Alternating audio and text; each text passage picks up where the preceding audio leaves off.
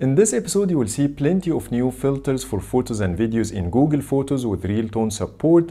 Your Play Points balance can be used for purchases directly in the checkout, plus 20 more new features and changes across multiple Google apps. So let's find out what's new.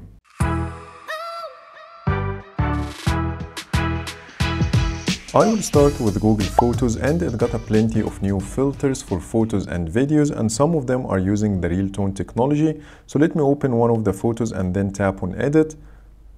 Now when you go to filters, you will see a lot of new ones here and they are separated using these vertical lines. So you will see they are grouped together in a way. And when you tap on some of them, you will see this text showing briefly saying made with real tone.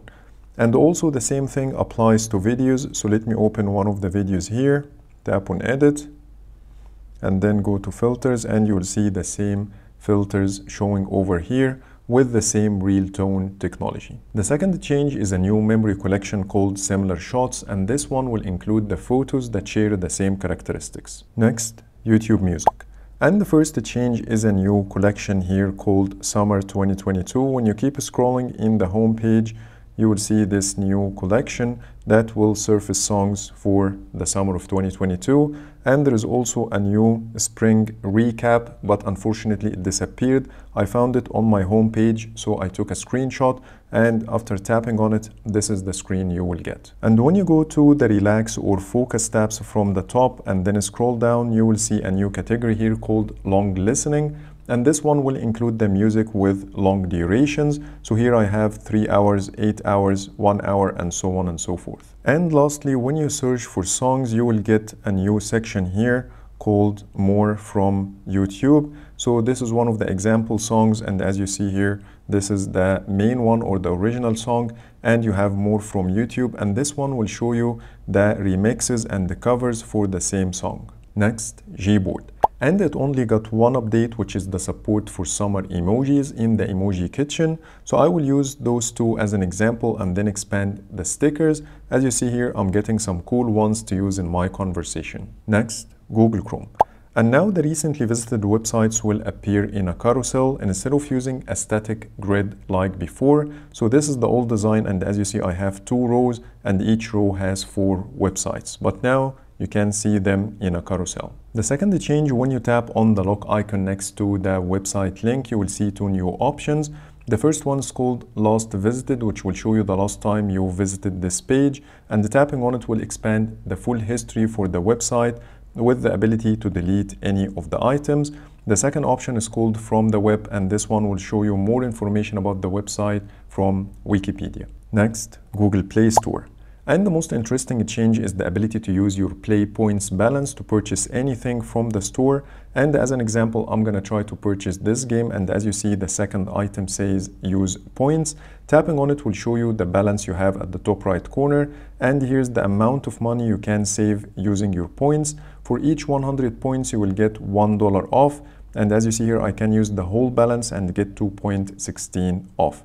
Once you make the choice and hit apply, the game will be purchased. That will make the redemption process for your play points much easier. Previously, to do the same thing, you need to redeem the points and get a voucher or a coupon and then use it to purchase stuff. But now you can do it at the checkout, which is much better. Change number two is the new banner you will see under the movies and TV section. As you see here at the top, it says movies and TV is moving soon. So you will no longer be able to see this tab in the future. And your only option is to use the Google TV app to rent or purchase movies. And when you tap on this banner, it will explain to you what's going on here.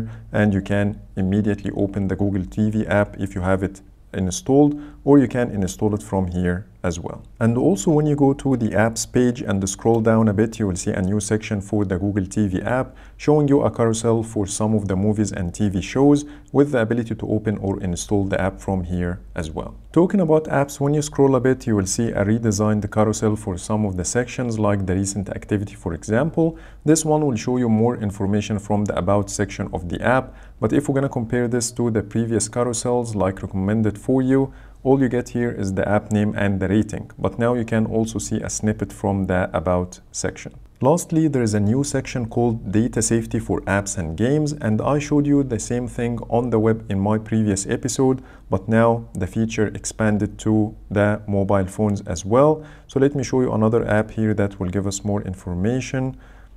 So let's try this one for example, and it says here no information available, but it depends on the developer if the data safety information is available or not. So let me try to find an app for you.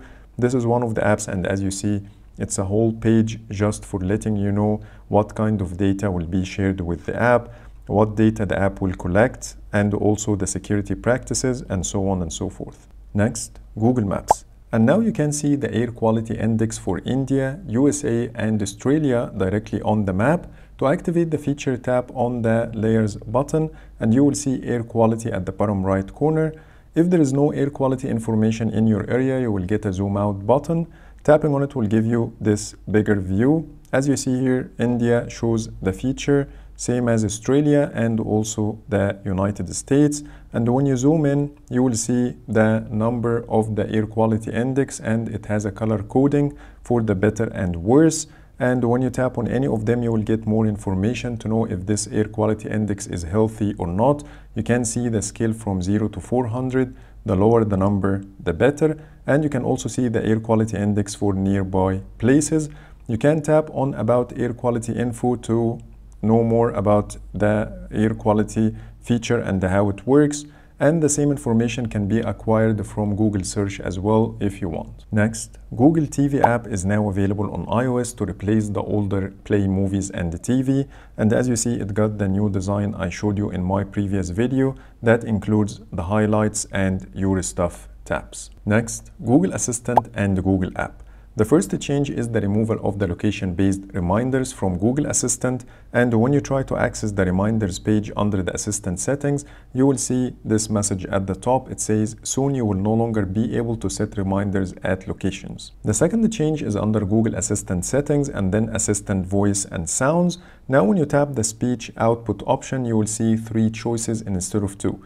We used to have full and brief, but now the third option is called none unless hands-free which means your assistant will interact normally if you have the hands-free connected, but other than this, it will remain silent. The third change is related to Google Discover, and you might see a new tag for the YouTube videos showing in your feed says in case you missed it. Now let me show you some random changes across different apps, and the first one is Google Tasks. Now you have the option to favorite your tasks by tapping on the star icon next to it, and there is also a favorites tab if you want to check all of them together.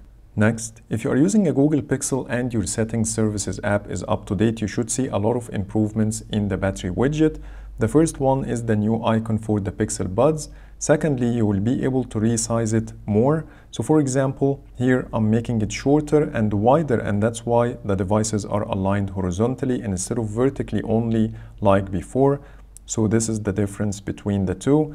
And when I make it narrower, as you see, it's now merging the two buds together into one box and I can make it even smaller and in this case it will remove the phone's battery and keep only the Pixel Buds battery. I can make it even smaller without any text and I can only see the graphical representation for the battery percentage. On top of this you will get a new counter that shows how many Bluetooth devices connected and the more the devices the more the number you get and in some cases you might see the battery percentage for your Bluetooth accessory. And lastly, when you activate the battery saver feature and then check your battery widget, you will see this new icon here next to your phone's battery percentage. So that's pretty much it for today. Those are all the new changes I wanted to share with you. Please let me know in the comments if you spotted any new feature in any Google app to include in my future episodes. But for now, thank you so much for watching and see you the next video.